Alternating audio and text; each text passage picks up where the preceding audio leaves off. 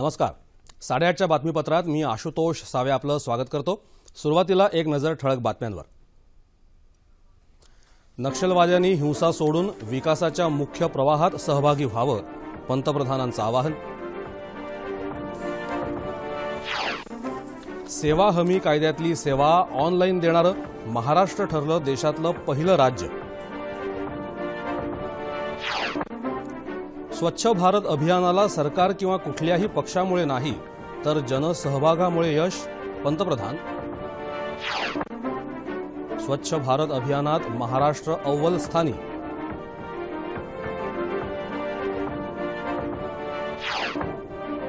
आणि पहिला twenty twenty cricket सामना भारतानं गमावला. दक्षिण आफ्रिका सात गडी राखून विजयी. आणि आता पाहूया सविस्तर वृत्त. नक्षलवाद्यांनी हिंसेचा मार्ग सोडून विकासाच्या मुख्य प्रवाहात सहभागी व्हावं असं आवाहन पंतप्रधान नरेंद्र मोदी यांनी माओवाद्यांना केलं आहे. ते बिहारमध्ये बांका येथील प्रचारसभेत काल बोलत होते. पंतप्रधानांनी यावेळी बिहारमध्ये विकासाचं आश्वासन दिलं.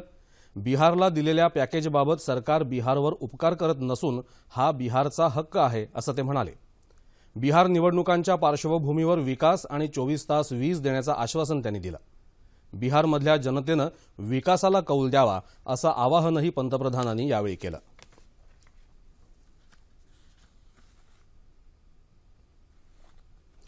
सेवा हमी कायद्यातली सेवा ऑनलाईन देणारं महाराष्ट्र हे देशातलं पहिलं राज्य ठरलं आहे. राज्यातल्या नागरिकांना या सेवेअंतर्गत विशेषाधिकार देण्याचा आम्ही प्रयत्न केला असून आठ विभागांच्या शेहेचाळीस सेवा सामान्यांना घर घेता येतील. लवकरच या सेवांसाठीचं मोबाईल ॲप देखील तयार केलं जाईल अशी घोषणा मुख्यमंत्री देवेंद्र फडणवीस यांनी काल मुंबईत केली. सेवा हमी कायद्यातील ऑनलाईन सेवांचं लोकार्पण मुख्यमंत्र्यांच्या हस्ते झालं त्यावेळी ते बोलत होते. सेवा हमी कायद्यामुळे जनतेला सेवा हक्क मिळाला आहे. भविष्यात उर्वरित सेवाही ऑनलाईन देण्याचा प्रयत्न केला जाईल असं मुख्यमंत्र्यांनी यावेळी सांगितलं.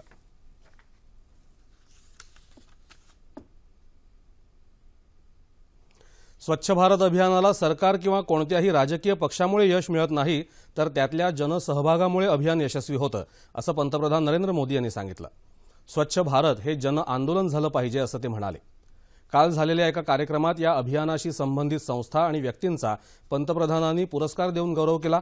देश स्वच्छ ठेवण्यासाठी नागरिकांनी सार्वजनिक स्वच्छतेकडे लक्ष देऊन काही सवयी बदलण्याची गरज पंतप्रधानांनी व्यक्त केली. या अभियानात अनेकांनी सहकार्य केलं असून त्यात प्रसारमाध्यमांचा मोलाचा वाटा असल्याचं ते म्हणाले. या अभियानाअंतर्गत केंद्र सरकारनं शौचालयं बांधण्याची मोहीम सुरू केली आहे. शाळेत शौचालयं बांधली जात असल्यानं मुलींना फायदा होत आहे. सरकारनं एका वर्षात निर्धारित उद्दिष्टापेक्षा जास्त शौचालयं बांधल्याचं त्यांनी सांगितलं. गावांमध्ये साठ लाख शौचालयं बांधण्याचं उद्दिष्ट होतं. मात्र सरकारनं वर्षभरात पंच्याण्णव लाख शौचालयं बांधल्याचं पंतप्रधान म्हणाले.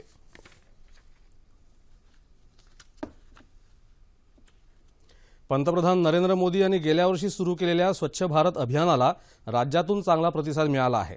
या महत्वाकांक्षी अभियानाच्या अंमलबजावणीत महाराष्ट्र राज्य प्रथम क्रमांकावर असल्याचं याबाबतच्या अहवालात नमूद करण्यात आलं आहे.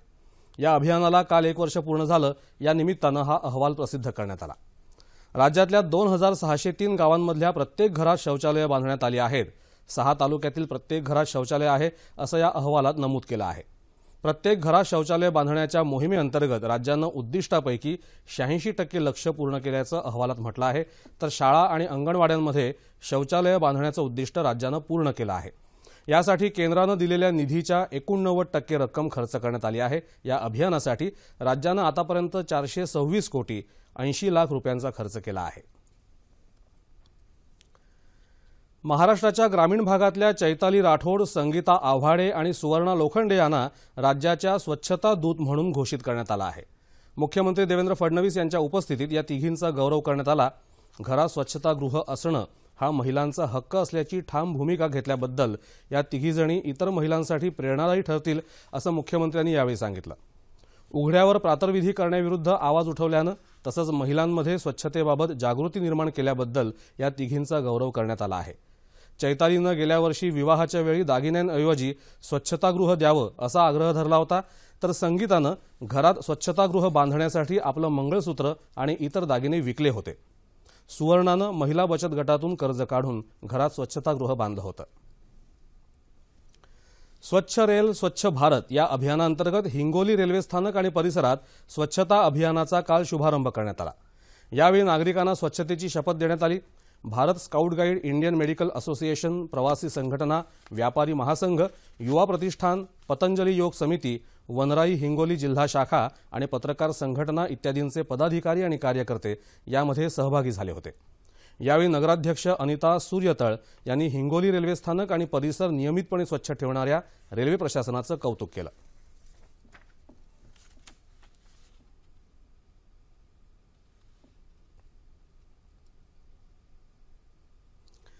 सहकार कायद्याची निर्मिती समाजाच्या आणि तळागाळातल्या गरीब आदिवासी शेतकरी समाजासाठी करण्यात आली आहे. बदलत्या जागतिकीकरणानुसार या कायद्यात बदल करण्याची गरज असल्याचं मत केंद्रीय मंत्री नितीन गडकरी यांनी काल व्यक्त केलं. नागपूर इथं नचिकेत प्रकाशनच्या वतीनं आयोजित नचिकेत गौरव पुरस्काराच्या वितरण कार्यक्रमात ते बोलत होते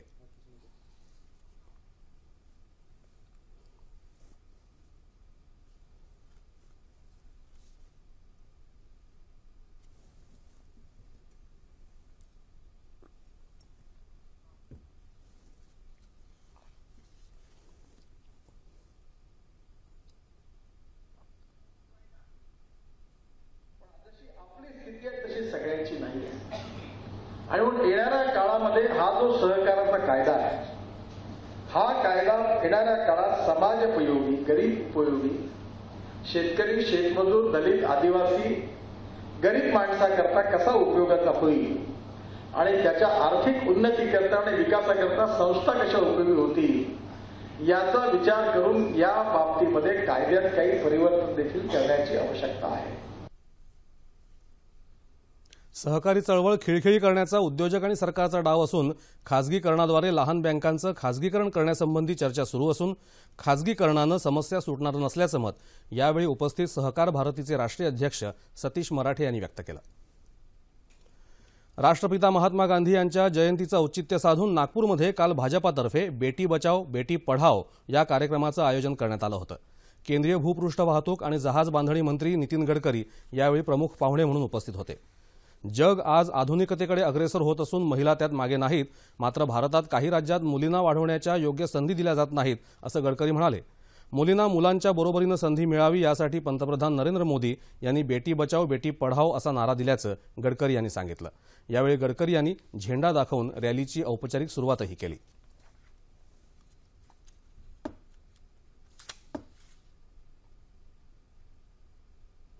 गिरणी कामगारांच्या घरांच्या प्रश्नाबाबत राज्य सरकारनं अवलंबलेल्या धोरणाचा निषेध करण्यासाठी मुंबईत काल गिरणी कामगार एकजूट संघटनेच्या वतीनं मूक निदर्शनं करण्यात आली.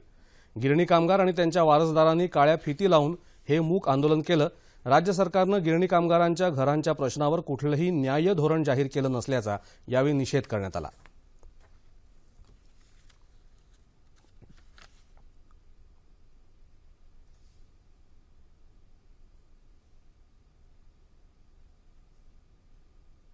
इच्छा असेल तर मार्ग दिसेल.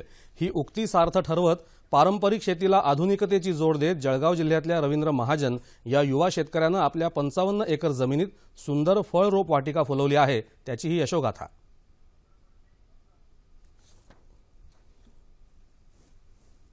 पावसाचं अत्यल्प प्रमाण डोंगराळ भागात असलेली मुरमाड जमीन अशा प्रतिकूल परिस्थितीत जिद्द कष्ट आणि सुयोग्य व्यवस्थापनाची उत्तम सांगड घालून जळगाव जिल्ह्यातल्या गारखेडा या छोट्याशा गावात राहणाऱ्या रवींद्र महाजन यांनी आपल्या स्वप्नातली रोपवाटिका फुलवली आहे. पा पाण्याची मुबलक व्यवस्था झाल्याच्यानंतर मग रोपवाटिकेला आमच्या खऱ्या अर्थाने सुरुवात झाली. आमचं त्या काळातलं साधारण एक दहा एकरापासून सुरू झालेलं नर्सरीचं जो क्षेत्र होतं आज ते जवळपास सव्वाशे एकरमध्ये वाढ झालेली आहे. आणि साधारण पंचावन्न एकर क्षेत्रामध्ये त्यात फक्त नर्सरीचं आमचं प्रोडक्शन चालू आहे. गेल्या पंचवीस वर्षांपासून आपल्या फळबागेत लावलेल्या झाडांवर कलम पद्धतींचा अवलंब करून मोसंबी डाळिंब आवळा फणस आंबा सीताफळ अशा दर्जेदार फळांचं उत्पादन घेतलं आहे. पावसाचं अत्यल्प प्रमाण लक्षात घेत आपल्या फळरोप वाटिकेत पिकांना तुषार सिंचनाद्वारे पाणी पुरवठा करत महाजन यांनी पाण्याची बचतही केली आहे. या ठिकाणी पाण्याच्या नियोजनासाठी आम्ही सुरुवातीला राष्ट्रीय कृषी विकास योजनेअंतर्गत तीन मोठी शेततळी घेतलेली आहेत. त्याच्यानंतर काही ठिकाणी स्वखर्चाने सिमेंट बंधारे माती बंधारेही टाकलेले आहेत. कृषी विभागामार्फत एक मोठा माती बांध पण आपलं सिमेंट बंधारा पण टाकून घेतलेला आहे. आणि त्याचं खोलीकरण पण केलेलं आहे. बऱ्याचशा ठिकाणी स्वखर्चाने पण नाला खोलीकरण करून घेतलेलं आहे. शेतीतल्या या यशस्वी प्रयोगामुळे महाजन यांना कृषी मंत्री एकनाथ खडसे यांच्या हस्ते नुकताच वसंतराव नाईक कृषी पुरस्कार प्रदान करण्यात आला. या फळरोप वाटिकेद्वारे महाजन यांनी सत्तर जणांना कायमस्वरूपी रोजगारही मिळवून दिला आहे. शेतीला पूरक व्यवसायाची जोड देत महाजन यांनी फुलवलेली ही सुंदर रोपवाटिका इतर शेतकऱ्यांसाठी प्रेरणादायी ठरेल हे निश्चित. भौतिक सुविधा आणि शैक्षणिक गुणवत्तेच्या आधारावर राज्यातल्या पहिल्या आय एस ओ नामांकनाचा बहुमान सातारा जिल्ह्यातल्या कराड नगरपालिका शाळेला मिळाला आहे. लोकसहभागातून केलेली कामं डिजिटल क्लासरूम सीसीटीव्ही यंत्रणा अग्निशामक यंत्रणा विद्यार्थ्यांसाठी स्वच्छ पाणी स्वच्छतागृह ग्रीन हाऊस ई लर्निंग इत्यादी सोयींनी सुसज्ज असलेल्या कराड नगरपालिका शिक्षण मंडळाच्या शाळा क्रमांक तीनला आय एस ओ नामांकन मिळालं आहे. गान संवर्धन संस्थेच्या व्यासपीठावर मान्यवर संगीत तज्ज्ञांनी मांडलेल्या विचारधनाचं लिखित रूपांतर असलेल्या मायस्ट्रोज स्पीक या इंग्रजी ग्रंथाचं प्रकाशन काल पुण्यात गायक पंडित जसराज यांच्या हस्ते झालं. पंडित भीमसेन जोशी पंडित शिवकुमार शर्मा पंडित जसराज अशा पंचेचाळीस दिग्गजांचं विचारधन या ग्रंथात आहे. ज्येष्ठ गायिका प्रभा अत्रे यांना हा ग्रंथ समर्पित करण्यात आला आहे. रसिक कलाकाराला केवळ ऐकतातच असं नाही तर स्वीकारतातही अशा शब्दात जसराज यांनी महाराष्ट्रातल्या रसिकांचा गौरव केला.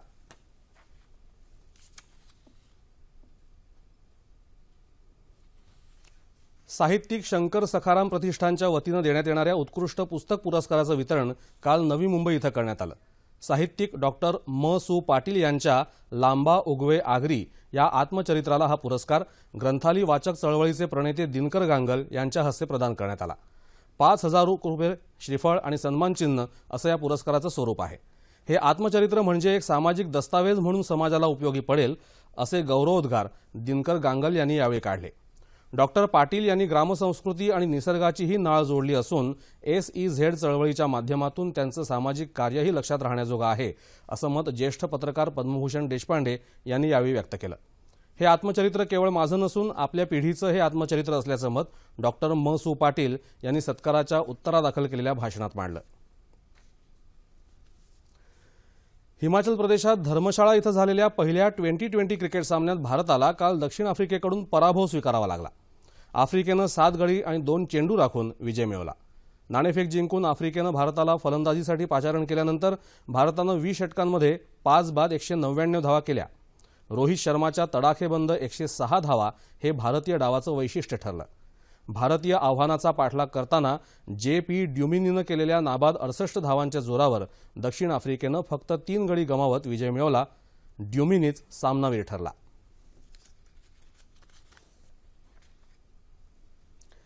चीनमध्ये सुरू असलेल्या वुहान खुल्या टेनिस स्पर्धेत भारताच्या सानिया मिर्झा आणि स्वित्झर्लंडची मार्टिना हिंगीस या जोडीनं महिला दुहेरीच्या अंतिम फेरीत प्रवेश केला आहे.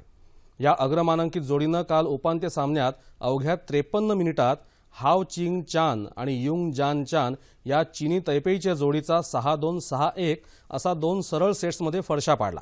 अंतिम फेरी त्यांची गाठ आता कॅमेलिया आणि मोनिका या रुमानियन जोडीशी पडणार आहे. आणि आता पाहूया हवामान वृत्त.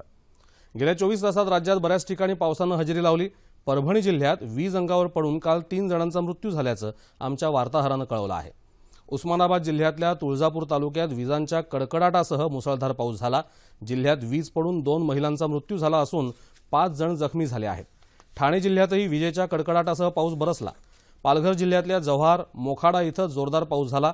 मुंबई शहर आणि परिसरात अनेक ठिकाणी ढगाळ वातावरण होतं. काही ठिकाणी रिमझिम पाऊसही झाला. पुण्यातही रिमझिम पाऊस पडला. लातूर उस्मानाबाद भूम कळंब इथेही विजेच्या कडकडाटासह तसंच सिंधुदुर्गमध्ये कुडाळसह अनेक ठिकाणी पर्जन्यवृष्टी झाली असं आमच्या वार्ताहरानं कळवलं आहे. सातारा जिल्ह्यातल्या कराड महाबळेश्वर फलटण माण इथं जोरदार पाऊस झाल्याचं वृत्त आहे. येत्या चोवीस तासात दक्षिण कोकणासह दक्षिण मध्य महाराष्ट्रात तुरळक ठिकाणी मेघगर्जनेसह मुसळधार पाऊस पडण्याची शक्यता हवामान विभागानं वर्तवली आहे. आणि शेवटी ठळक बातम्या पुन्हा एकदा. नक्षलवाद्यांनी हिंसा सोडून विकासाच्या मुख्य प्रवाहात सहभागी व्हावं पंतप्रधानांचं आवाहन सेवा हमी कायद्यातली सेवा ऑनलाईन देणारं महाराष्ट्र ठरलं देशातलं पहिलं राज्य. स्वच्छ भारत अभियानाला सरकार किंवा कुठल्याही पक्षामुळे नाही तर जनसहभागामुळे यश. पंतप्रधान. स्वच्छ भारत अभियानात महाराष्ट्र अव्वल स्थानी. आणि पहिला ट्वेंटी ट्वेंटी क्रिकेट सामना भारतानं गमावला दक्षिण आफ्रिका सात गडी राखून विजयी. याबरोबरच हे बातमीपत्र संपलं. पुन्हा भेटूया दुपारी अडीच वाजता सह्याद्री वाहिनीवर. नमस्कार.